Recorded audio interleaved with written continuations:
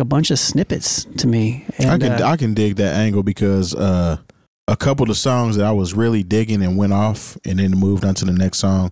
I mean, I still dug the next song too, but I was still kind of wanting Yeah. more. yeah, I liked everything Yeah. that I heard really, but it was just like it just sounded wanted like it. So let's talk about Schoolboy Q. Let's uh, who just about released him. Blue Lips, his album. I don't know if everybody heard it or not. I got a chance to run through it. Lone was talking about how the records are a little short.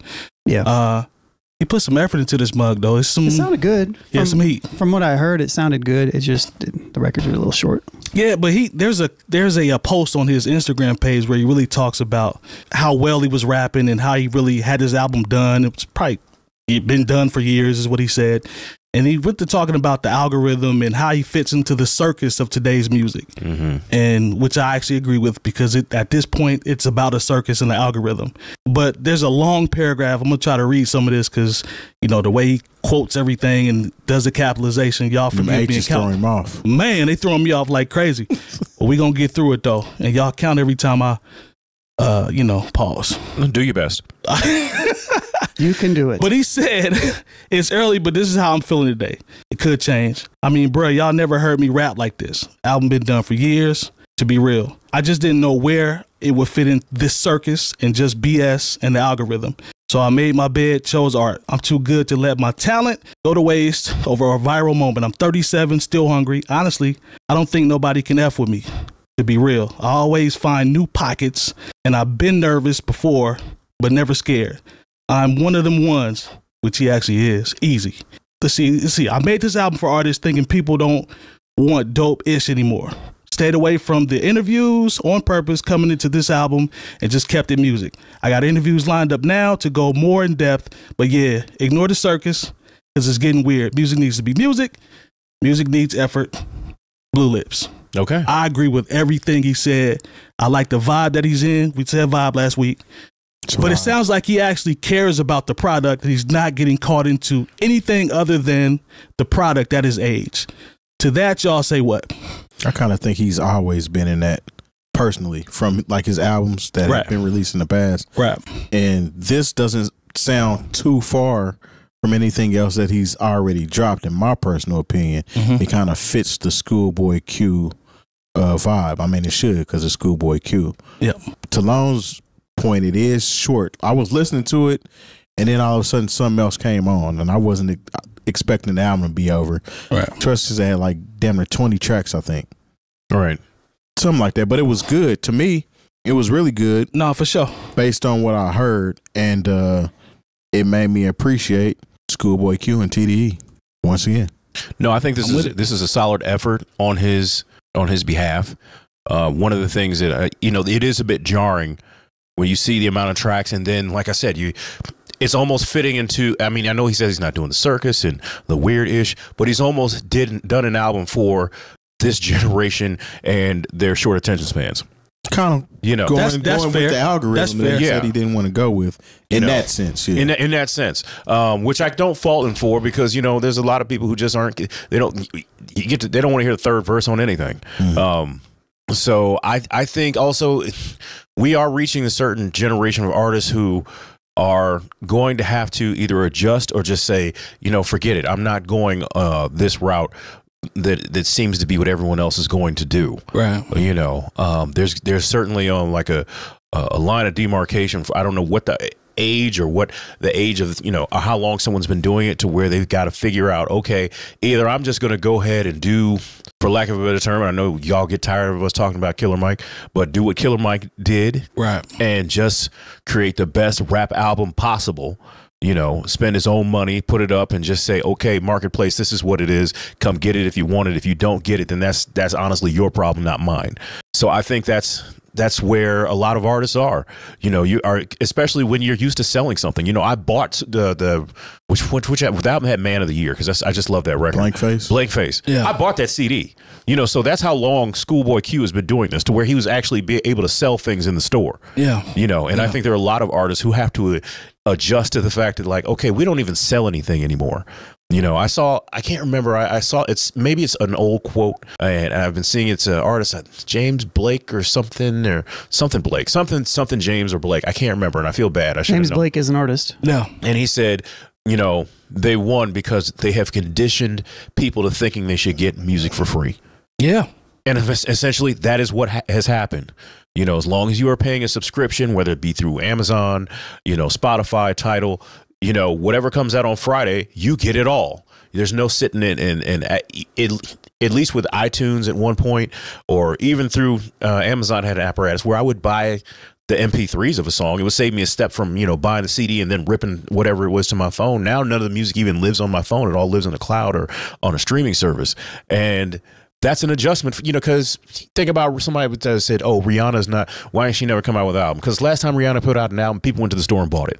Oh, she stayed pregnant too. So. Well, I mean, True. hey, True. you know, but that's that's that's I think that's one of the things for a lot of artists. It's like, why am I going to rush and put out this music for free? I mean, I know it's not for free because there's a you know there's a equation with the streaming and this that and the third, but and still, Riri a billionaire too. that's true. She's got a she's got enough going on. got That was just do somebody that was. I was using it as an example. Yeah. But you know, like okay, let's say another uh, an older artist. Like I don't know if Lionel Richie's interested in putting out another album. I mean, he's a legacy artist, but like, can you imagine telling Lionel Richie, okay, you're gonna put out an album and no one's going to buy it? Oh, you got to tell that to Smokey because Smokey gonna get hit you with them isms. he gonna hit you with what?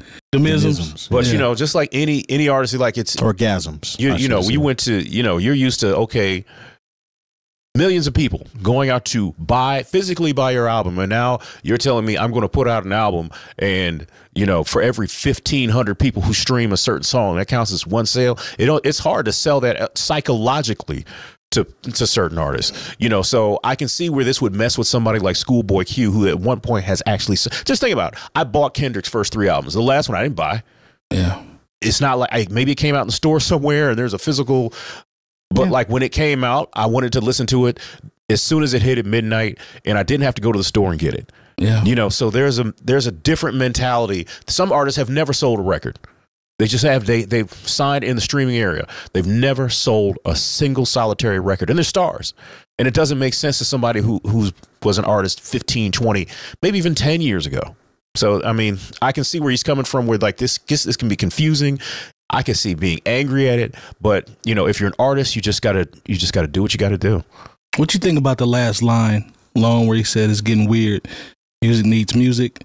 Music needs effort. What do you think about that? To be honest, I don't really have a lot to say on this. I mean, he just said that he wanted to put something out his way, and he did. So I, They did. That's kind of the end to me. Uh, I, I don't know. Um, but to your guys' point, when I listened to it, it didn't seem like that because everything was super short. Everything was very cut off. I, I couldn't get into the flow of listening to it like a lot of other people could.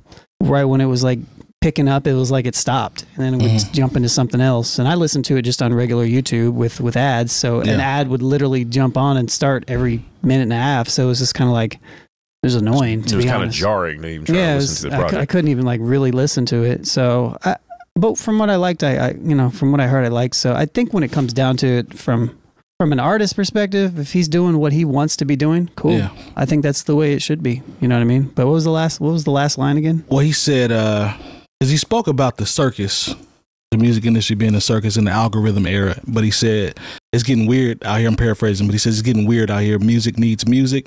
Music needs effort. What does music needs music mean? I guess you can take it however you want to take it. Mu- music, because to me, it's this is all based off.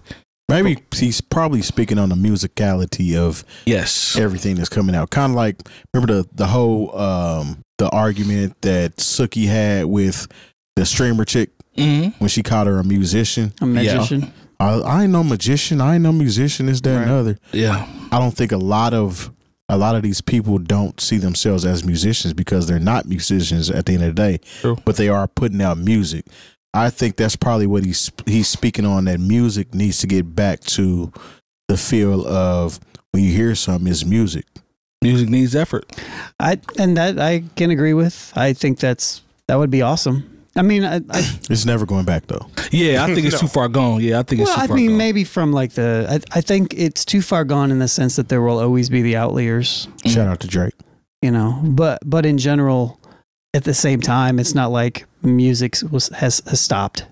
You know, it's just No, it hasn't. it's just been a competition with the well, algorithm. let me take so- that. Let me take that back because the too far gone could be So far gone. Shout out to Drake. Yeah, shout out to Drake. Uh, that could be looked at on the mainstream, where you can say mainstream is it's out of there, but there's still plenty of artists that are putting forth what we would call quote unquote effort and making dope Absolutely. music. So that's not going to go away. Main, but the mainstream has been gone for decades, in Yeah, it's my been opinion. gone. I mean, so it's just it's just a different way to commercialize. Uh, you know, something that happens to be musical. You know, if if Gotcha. if the music industry could could uh, sign plants, Yeah. you know, and plants could talk, they would do that. It doesn't matter. Don't give anybody any ideas. I know. I know, I'm right? just saying, but like, AI will have it uh, up next week. but I'm just saying, like, it the music. I don't I don't really look at this from a music industry lens in that aspect. But but but but I can feel what he's saying. You know, like, and I, I agree with him. So I don't want to make it seem like I'm like disagreeing with him. But he's just he's just saying what I agree with. So I mean, he's part of TDE though. Um, historically, they don't really put out half-ass projects, True. right. so to speak, and it, that's with every artist that comes out, whether you like them or not. There always seems to be some effort put into their release. Higher quality. Yeah, whether that be Jay Rock, whether it be uh, Schoolboy Q, SZA, Yeah. Ab-Soul. uh, Ab-Soul. and- I know a lot of people don't get Ab-Soul, but his his albums have substance True. and there's structure to it. sir. Yeah, so Sir. definitely. I think he got something dropping on the twenty second of this month. Mm. Yeah. Shout out to them, man. Shout out to Schoolboy. Yeah, I mean, to be honest, it, if I'm going to be truthfully honest with this, it, I couldn't get into the flow of the music, man. I know I already said that, but I couldn't get into the flow of it because it just wasn't long enough. It was just like a bunch of snippets to me. And, I can uh, I can dig that angle because uh, a couple of the songs that I was really digging and went off and then moved on to the next song. I mean, I still dug the next song too, but I was still kind of wanting Yeah. more. Yeah, I liked everything Yeah. that I heard, really, but it was just like it just Just sounded wanted like it, it was just a snippet. Like it was is like a minute and a half, two minutes of a song that you could have that could have been a four minute song.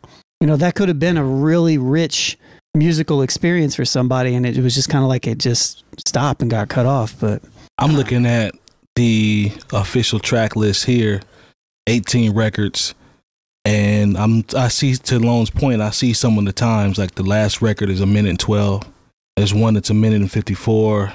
Couple that are there's multiple under three minutes, 238, 257, 220. So But also, To your like, point, but also, I like see what all you're of his records too. They, they, it's not like they were jumping into it. It was like they were building up.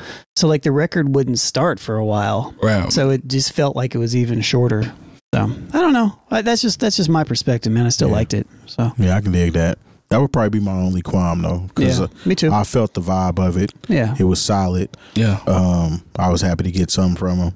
there's a yeah. Gibbs feature on there Yeah, where he took a shot at Akademiks. That was yeah, funny. he did. He did. There's always room for that. Sounded like an Alchemist beat on there too. I could be wrong, but I got to go through the credits. I'm actually looking at them now, and uh, Alchemist is on here. yeah, I heard the Alchemist joint. At least one of them. Yeah, and like you said, man, TDE got a high high standard. We'll say. High power. Yeah, they they they usually drop good products. So shout out to him, man. If that's how you feel, you know what? And what album is it? I need to see Like fifth, Fifth or sixth? Sixth, I think. setbacks. Yeah, this is number six. Cause setbacks was 2011. To Jay Moore's point about buying stuff on CD, he's been around for a while. Mm-hmm. Yeah, I It actually seen like the it. Blank Face uh, tour live. It pretty- 2016 is when that came Yeah. out, and then Crash Talk 2019, and I now think Crash Talk might be the only one that wasn't that great. yeah. Everything else was fire. No, the boy got heat. So shout out to him.